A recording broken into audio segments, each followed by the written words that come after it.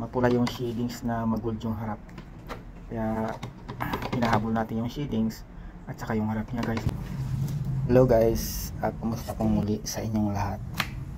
Ngayong araw po ay magtitimpla po ako ng ah, China. Cherry po yung ah, kotse guys. Ito guys ah, ah, yung kulay niya mapula na mga gold. Ma, di mo malaman kung anong kulay ito guys ito guys ah, titimplahin ko sa manual.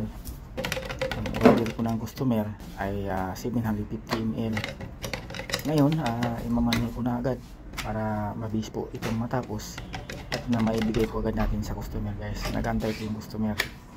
Itong ah, sample niya guys ay repentin na po. Hindi na po siya original uh, na was over na daw po yung kutsi noong dati pa.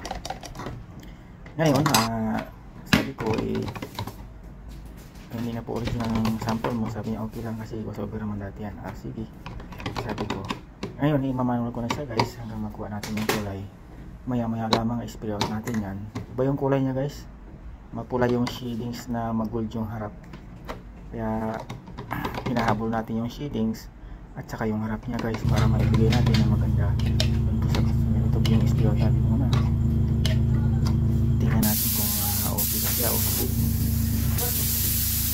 malayo ba o likid ayan siya guys. Kulang pa tayo ng uh, pangingitim at saka panggugol. Yan lang ang kulang ko guys. Maputla pa yung spray out ko guys.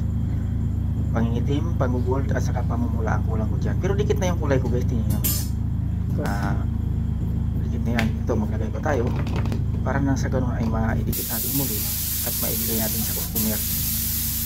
Yan guys. Natapos na. Eh, yan guys. Iba kasi yung sample guys. Pag curve kasi yung sample pa, pa ano yung gitna kaya iba yung titingin natin. Pag kailangan talaga ilapat doon sa ano ayan siya guys oh ang ganda ng kulay natin. Uy pagkawalan. Maraming maraming salamat po sa inyo lahat guys